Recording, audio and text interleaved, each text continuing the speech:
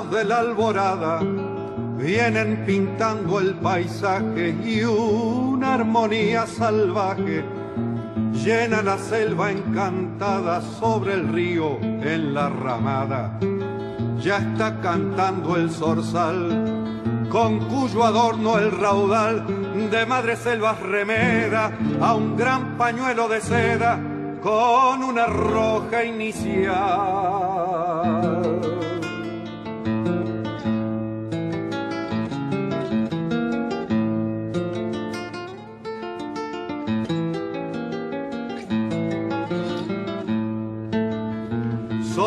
Campos callados alza la isleta en sus cruces, blancos rosarios de luces por los fantasmas colgados, pero en los brazos arqueados. Sobre el camino desierto siempre hay un zorzal despierto que llena el verso en su trino como un llanto femenino sobre el recuerdo de un muerto.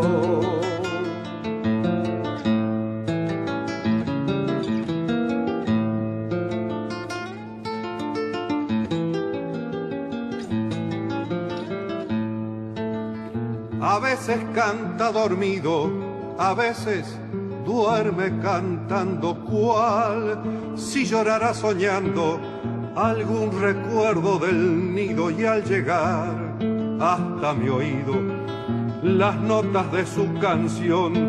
En cada lamentación oigo nombres olvidados como besos derramados dentro de mi corazón.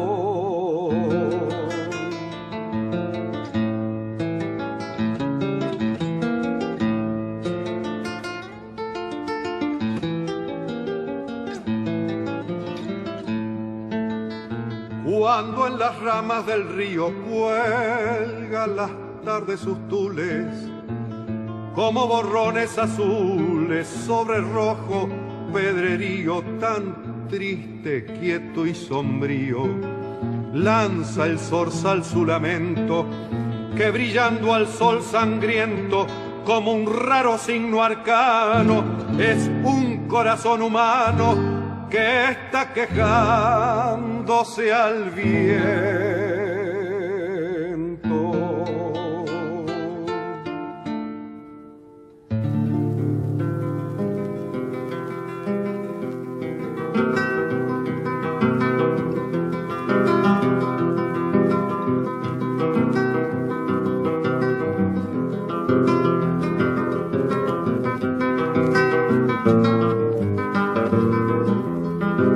La guitarra sigo haremos y acompañe por milonga.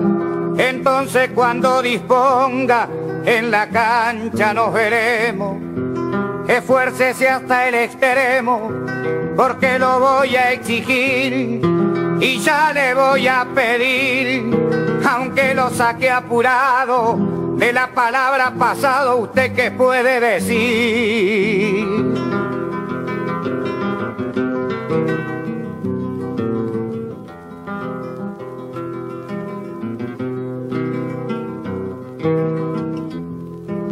Pasado es lo que se fue, hace un instante, un segundo, todo pasa en este mundo y eso ya lo sabe usted.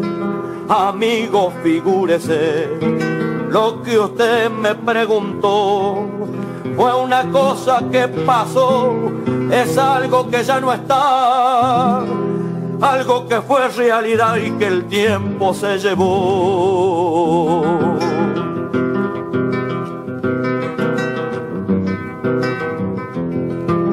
Lo perfecto existiera, su contestación sería la que yo le exigiría en su momento a cualquiera. Y ya que hay gente de afuera que escucha con atención, le pregunto en la ocasión si no se asusta por eso, si yo le nombro el progreso que dice su inspiración.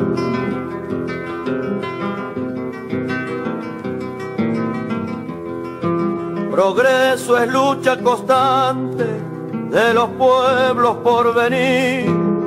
Es el camino a seguir, es la palabra delante, es la construcción pujante de la fuerza y de la idea, la más hermosa pelea que el hombre en ganar se afana la esperanza de un mañana, progreso es lo que se crea.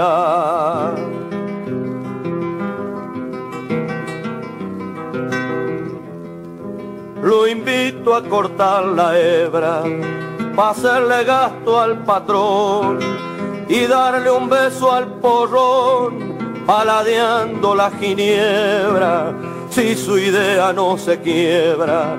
Cuídese del agua muerta, le aconsejo estar alerta, porque en el primer descuido le canto una falta en vido con 33 en la puerta.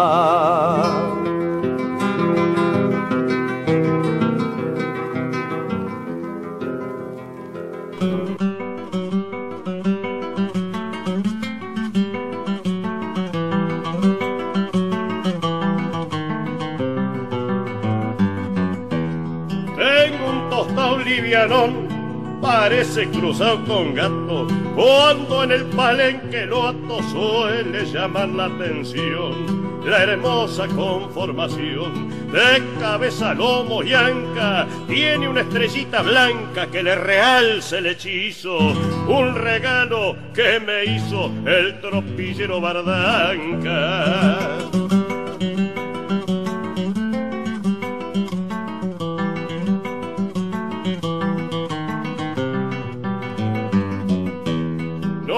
Conozco el origen, pero por su estampa opino que ha de ser para el camino como pingo de aborigen. Tiene, tiene todo lo que exigen, la condición de un ligero. Puedo equivocarme, pero lo atropellé el otro día y descubrí que tenía mezcla de luz y pampero.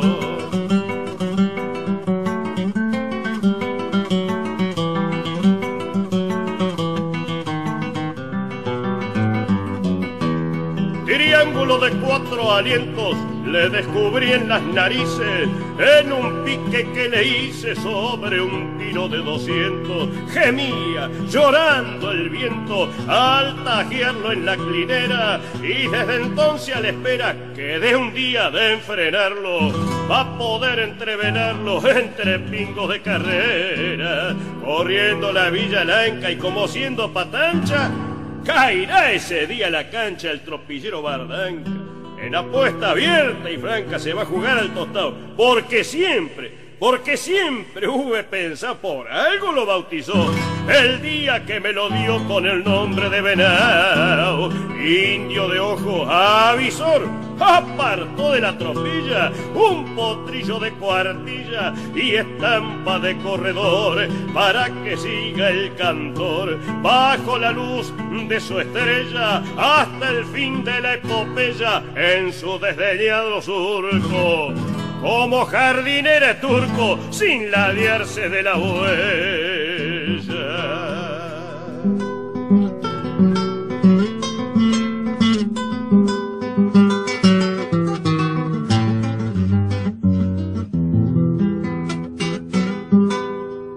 No me pida que le venda, patrón, mi Picasso Vero que es una prenda que quiero y por favor no se ofenda, solo quiero que comprenda que nunca lo voy a vender, los dos juntos a mi ver, si es que me ayuda la suerte, los potreros de la muerte saldremos a recorrer.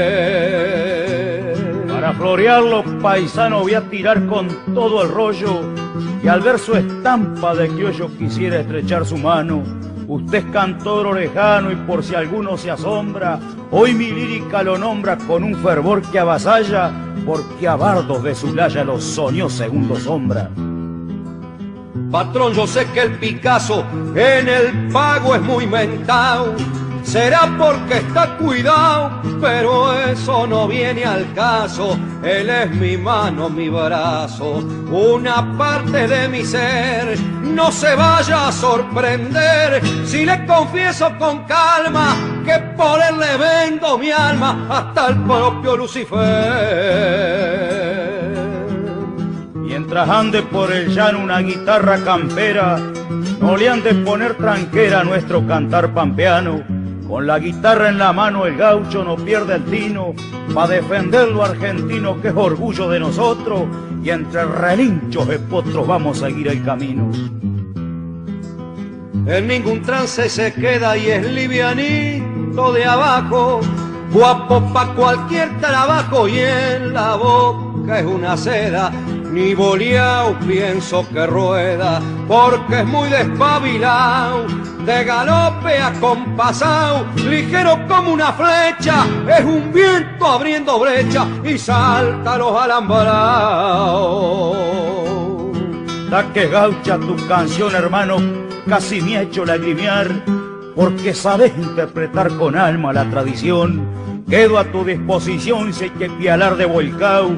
Y antes que se haya parado me le había a ir como luz. Y entre el riñón y la cruz ya queda enorquetao. La otra vuelta fui a buscar un toro medio bravón en el Picasso patrón cerca lo pude alcanzar, no fue más que ribonear, le entró en la guampa la armada, pegó el toro una espantada que casi revienta el lazo, pero se afirmó el Picasso y al final, y al final no pasó nada. Por eso, patrón, le pido que no se vaya a ofender. Si no le puedo vender a este pico tan querido, solo una cosa le digo, y es que si me llego a ir, procúrele un buen morir, suelto por algún potrero, cuídeme el Picasso que yo lo vi a bendecir.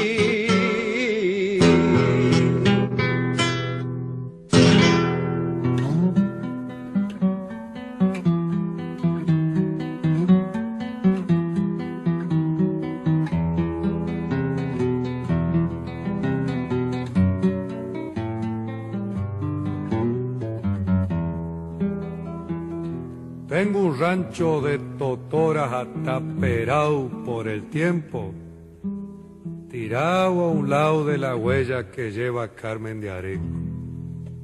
Son de adobe las paredes, de adobe son los cimientos, de tala son los horcones y las cumbreras del techo. Y como no tuve paja para terminar el alero y me faltó, entre otras cosas, las ganas de hacerlo y tiempo, casé un puñado de ilusiones. Me agencié de algunos sueños, los mesturé con suspiros y se los puse de alero. Y para que no me lo arranque el viento de los recuerdos, lo afirmé con cuatro cifras. Con estilos y con cielos. Ansí levanté mi rancho, ansí lo puse derecho, a un costado de la huella que lleva Carmen de Areco. En él no me falta nada, aunque no me sobra un cuero.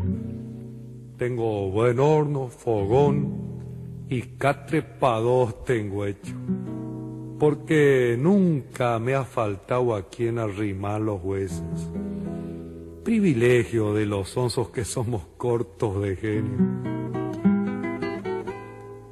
Varias cabezas de vaca tengo para hacerme de asiento y en las paredes cencerro, bolas, lazos, cabrestos, encimeras y peguales forman tuito el ornamento. Y allá en un rincón, dormida, hasta que no la despierto.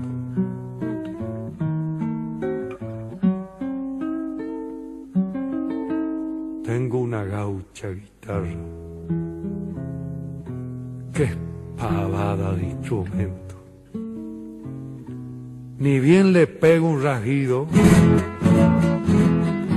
Parece que tiene adentro cien zorzales encerrados que se despiertan riendo y que huyen por sus notas cara al sol y pecho al viento.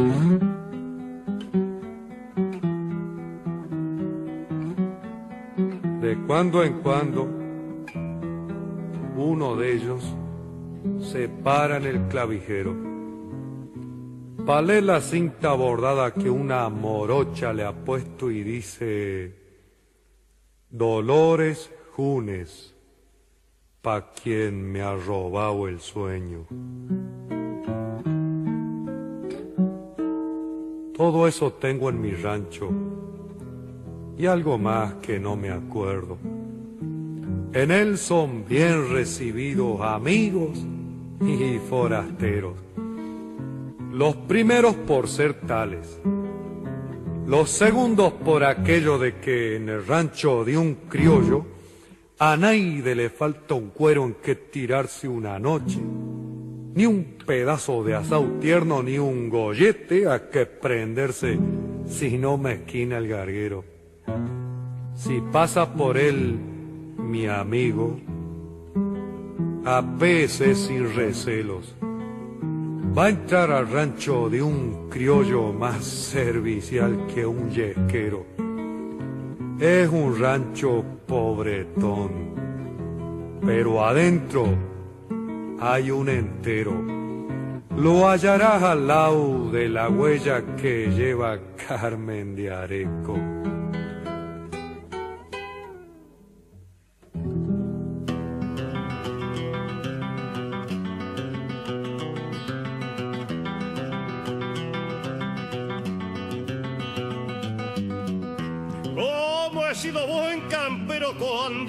Mensualeando en las estancias domando de esquilador o recero. Me ha gustado con esmero tener pilchas de valor que cuidaba con amor allá en mis años de mozo. Cuando lucía gustoso mi recadito canto.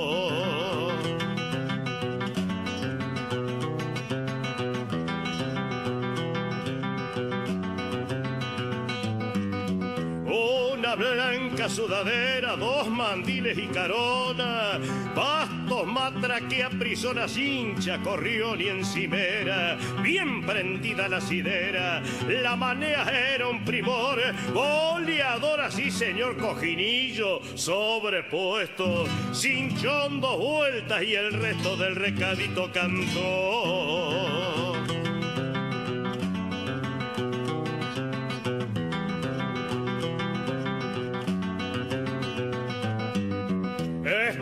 De suela y cuero, bozal, riendas, cabezada, maniador de ocho, brazada, bocao, freno, coscojero, un respetuoso talero, un trenzado de mi flor, sobre el anca tentador de un pingo de mi tropilla, porque era una maravilla mi recadito cantor.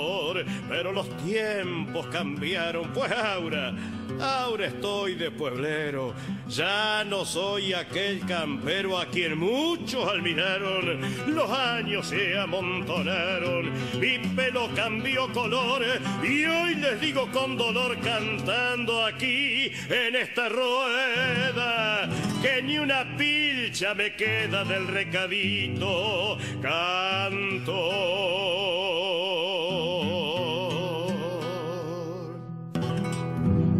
Como supe les diré, vivía espiando una duda, huella de una burla muda que mucho tiempo rastreé.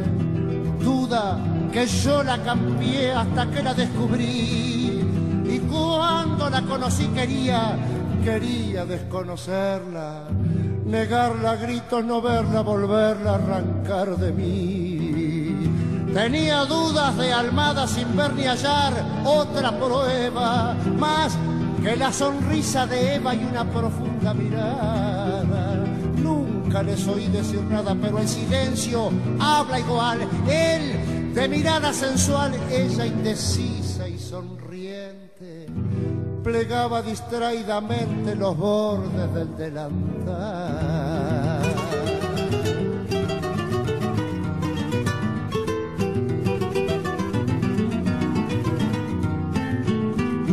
Después de esa escena muda que vi entre Almada y Eva, nunca conseguí otra prueba que superara mi duda. Siempre la sospecha cruda atormentaba mi ser y tentado por saber un día, un día le urdí una trama y le descubrí a mi dama la ingratitud del querer.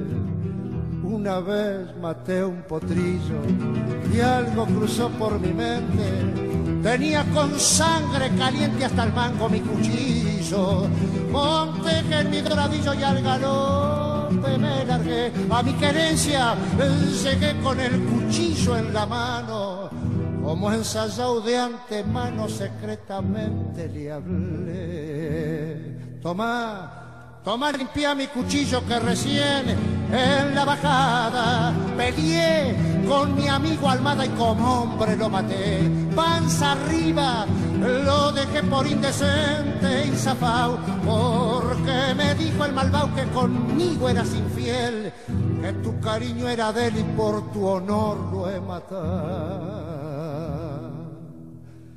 Tomó el cuchillo azorada y sobre la parte roja cubrió de besos la hoja diciendo desesperada, esta, esta es la sangre de Almada y Almada es mi único amor, yo tragando el sinsabor, ella clamando a su amante, compartí unos instantes el más horrible dolor. Le dije, le dije encontré quebrado al potrillo de la hoguera y para que no sufriera con eso lo he desollado. Podés vivir sin cuidado que si hay una herida aquí es la que has abierto en mí al saber, al saber que sos de almada, porque no hay peor puñalada que la de perderte a ti. Duda que vive escondida. Es mejor ni esclarecerla. Cuántas veces por saberla se llora toda una vida. Siempre una duda sabida nos abre una cicatriz, una verdad. En un tris oscureció mi pasado, pues mientras vivía engañado yo era el hombre yo era el hombre más feliz.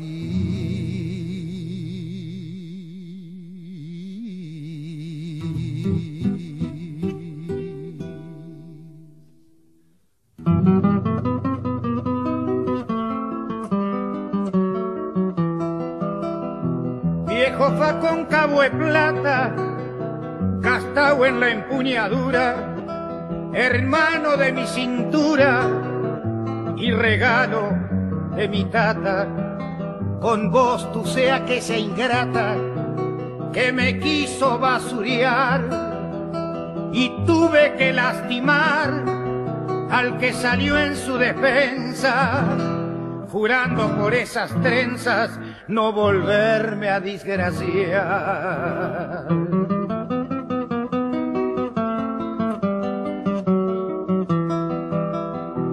Viejo facón camarada, de hoja delgada y filosa, sin mi voz no sos gran cosa, y yo sin vos no soy nada. Tu punta en una rodada se me clavó en la cadera, pero la moza pueblera que me atendió de esa herida, con una pasión fingida, me hizo otra herida más fiera.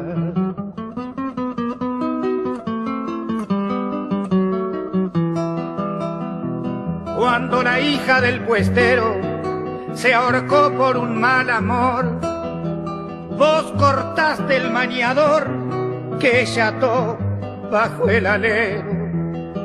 cuando tras un piel certero cayó un sotereta quebrado, vos mismo lo has despenado de la manera más criolla, entrándole justo en la olla pa' que muera de sangrar.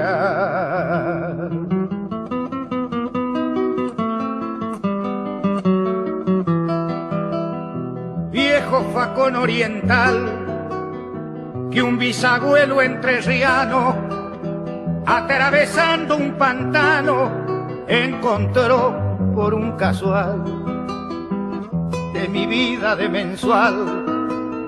Sos la más clara evidencia y aferrado a mi existencia y en tu vaina descansando.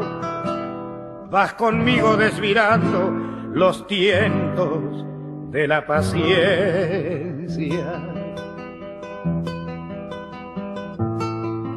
Sin embargo, aquella vez que me despidió un patrón, aunque yo tenía razón, no quisiste hacer de juez.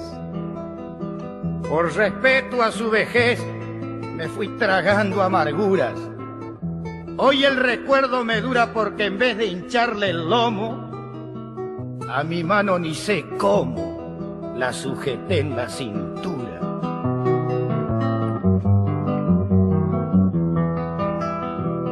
Viejo facón caronero, que en una tacuara larga te entraste en la última carga de aquel abuelo pionero, reliquia plata y acero, prolongación de mi brazo Sos el amigo gauchazo que me hará sentir más fuerte cuando al luchar con la muerte le tire el último hachazo.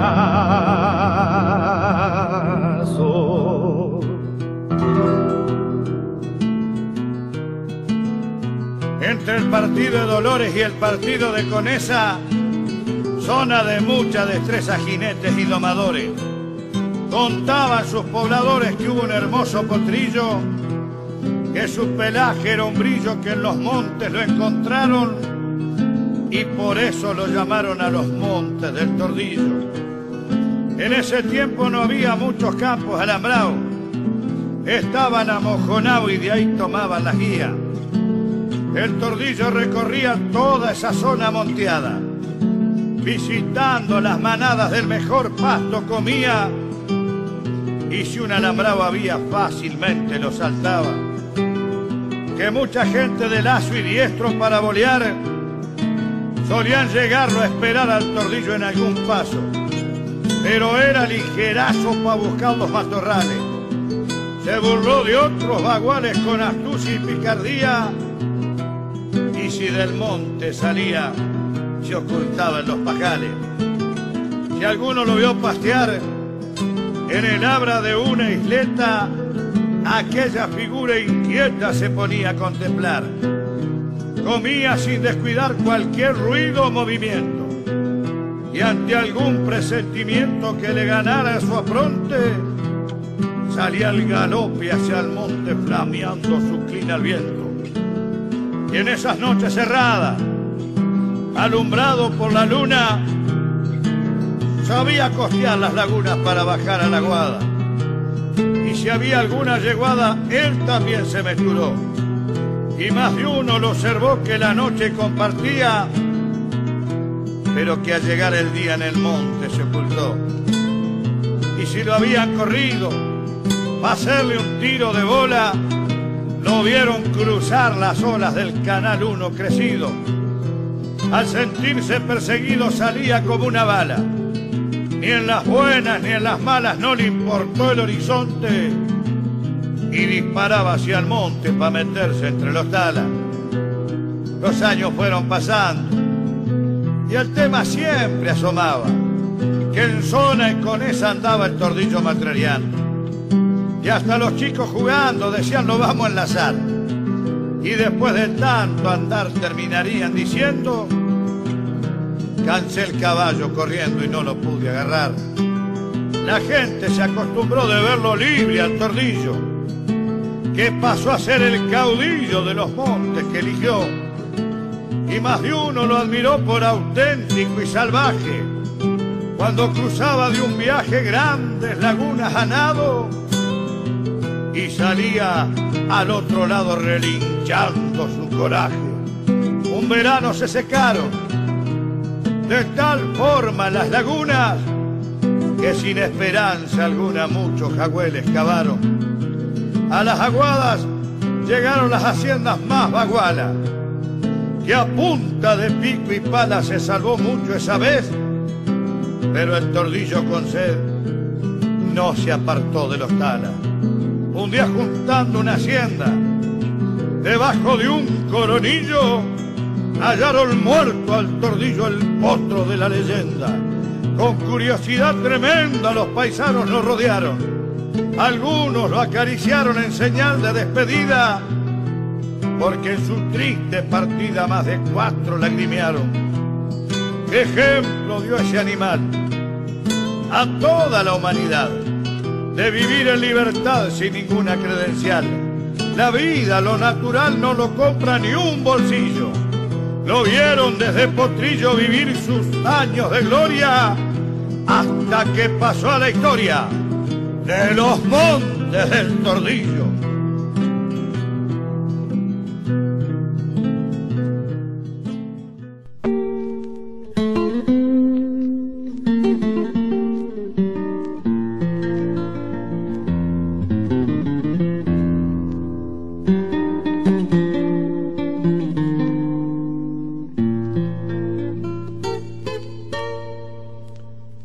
Estaba Zenón Regules, propietario de la estancia,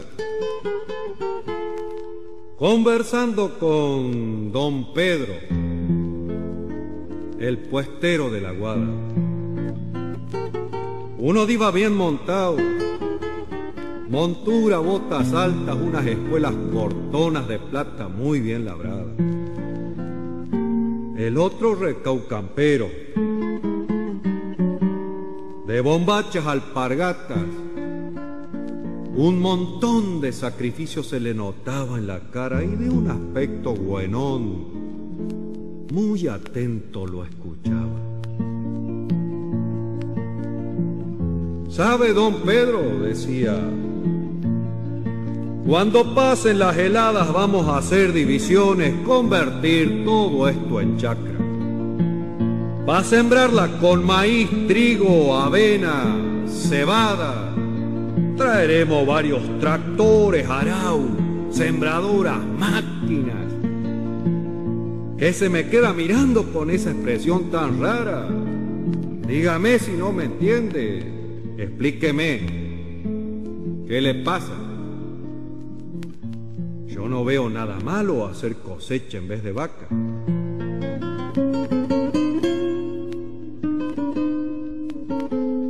Tal vez para usted no sea malo que esto se convierta en chacra. Pero yo ya estoy viejón. Mi cabeza ya está blanca. Me la blanquearon los vientos trabajando en esta estancia. Yo vine siendo muchacho cuando el dueño era su tata y que era un hombre capaz de echar el dos y rodaba. O pialar en un rodeo de revejo de payanca, conocedor para la hacienda, orgullo de la pionada. Y ahora, si usted va a cambiar, permítame que me vaya. Como digo, estoy viejo, no voy a servir para las máquinas yo voy a ir para otros campos donde todavía haga falta. Ande haya un puesto para mí, unos caballos, unas vacas y ande de vez en cuando se hagan yerras y pialadas. Ande exista una matera para saborear esperanza, así que ya sabe, Regules, quédese usted con la estancia. Patrón pegó la vuelta sin pronunciar más palabras. Mientras en la cara del viejo rodaron dos perlas blancas. Demostración de dolor tener que dejar la instancia. En eso se oyó unos gritos. Era el patrón que gritaba, vuelva don Pedro pa'l puesto, nadie a estas tierras las cambia. Ya mismo voy pa' un remate pa' ver si traigo más vacas. Hoy aprendí una lección que me estaba haciendo falta.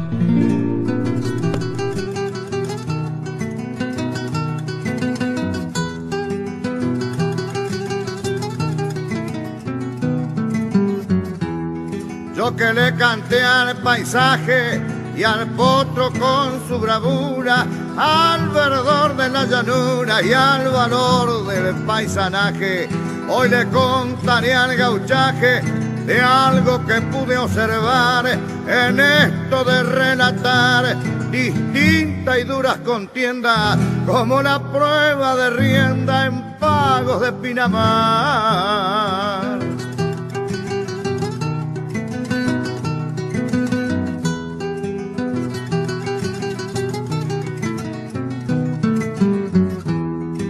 Fue antes de empezar caminando entre la gente por observar simplemente o el gusto de curiosear. Y me detuve a mirar un lindo pingo gateado.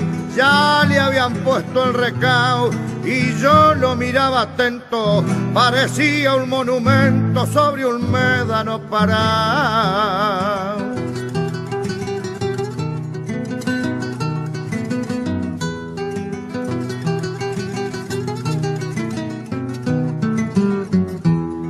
¿Cuánto pide? Pregunté al dueño que se sonrió, casi en broma lo tomó, pero iba en serio esa vez. Despacio me retiré por temor a que se ofenda y cuando entró en la contienda pasó al lado mío tranqueando, el gateado iba jugando con la coscoca y las riendas.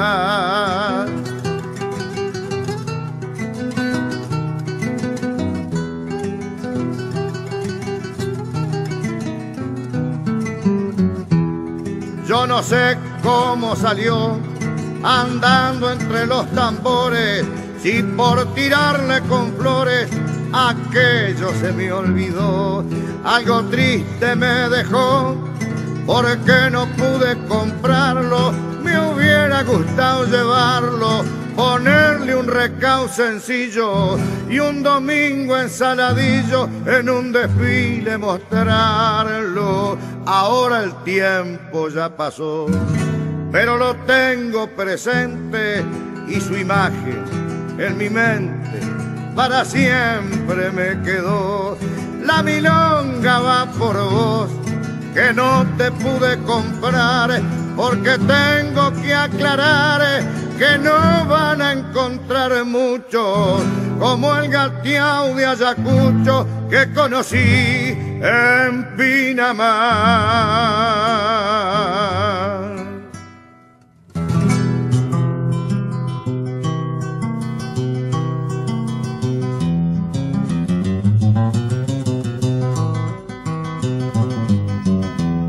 Se acerca la Navidad, día que todos quisieran tener la familia entera en la mesa de la paz. Pero esta ocasión será el motivo de reunión, una tremenda emoción que hoy invade a los García. Esperan para ese día el regreso del campeón, don Juan asando un lechón y su lema está regando, parece estar observando que está más rojo el malvón.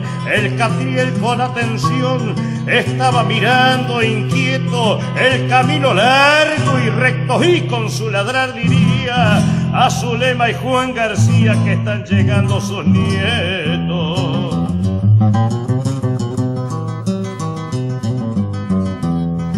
Ahí van dos niños corriendo de la taranquera a la casa y hay una abuela machaza que los espera sonriendo. Demetrio va reviviendo paisajes de su pasado, el molino, el alambrado y hasta observó en el potrero Pichoco al petizovero que a la escuela lo ha llevado y los vecinos llegaron a saludarlo, venían tanto que no lo veían, hecho un hombre lo encontraron. Y así después que pasaron, su lema iba secretiendo, a su hijo le iba contando, viste don Pedro el que entró, ese fue el que alcahueteó cuando te vio jineteando.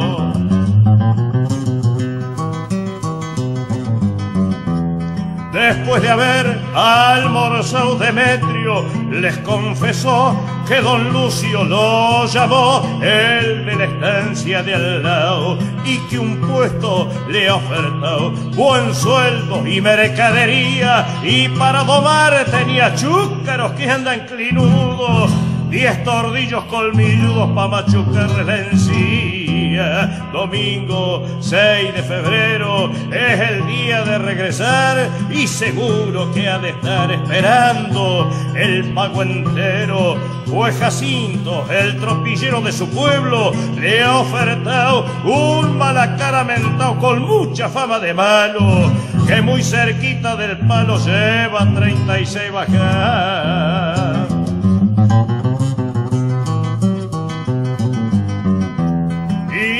Fin llegó aquel día que el pago estaba esperando. Querían verlo jineteando al hijo de los García. Y la angustia y la alegría se mezcló. Qué cosa rara. Fue por lo que comentara alguien que llegó de lejos.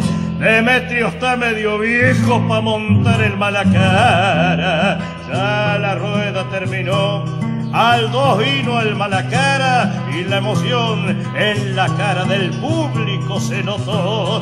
Y Demetrio, que llegó casi cuando el sol caía, al palenque rumbiaría con los estribos en la mano. Mientras comentó un anciano, ese es Demetrio García.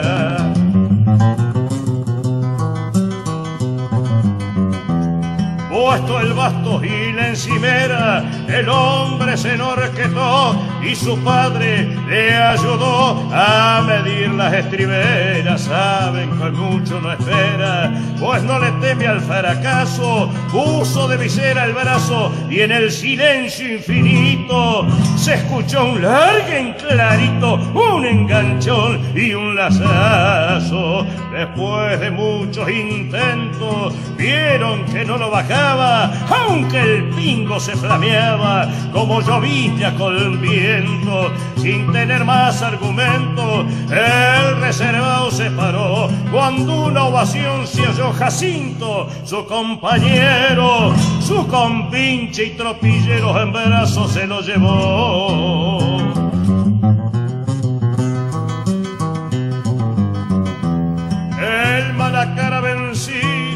Despacio, taranqueando como si fuera arrastrando aquel invicto perdido. Y Demetrio, confundido en brazos de la reunión, escuchó con emoción al padre que comentaba que hacía rato que esperaba el regreso del campeón.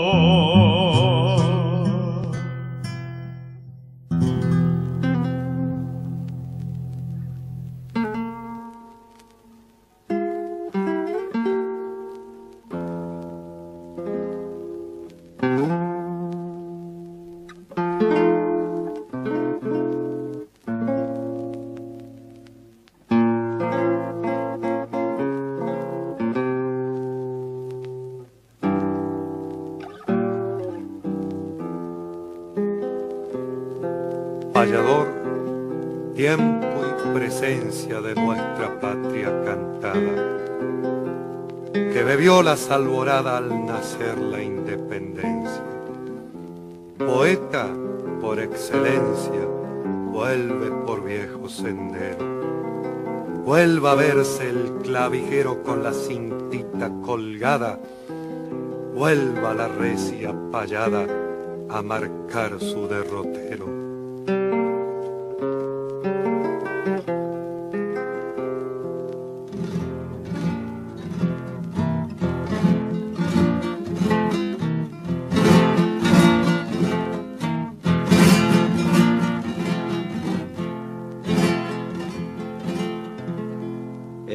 Payador de ayer se miran los del presente, una forma inteligente de sentir y de aprender.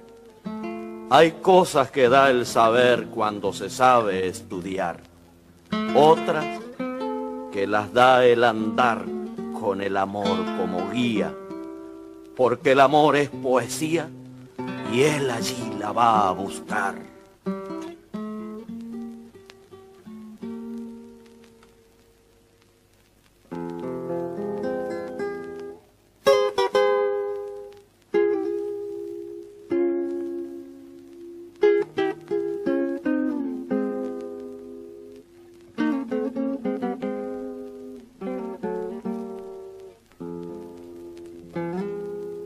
La pampa comienza a descansar el pampero. Y cuando enciende el lucero, una tropilla de estrellas, parece que antiguas huellas crecieran sobre el verdor y renace aquel rumor de esta guitarra bendita y es que en la noche aún palpita el alma del payador.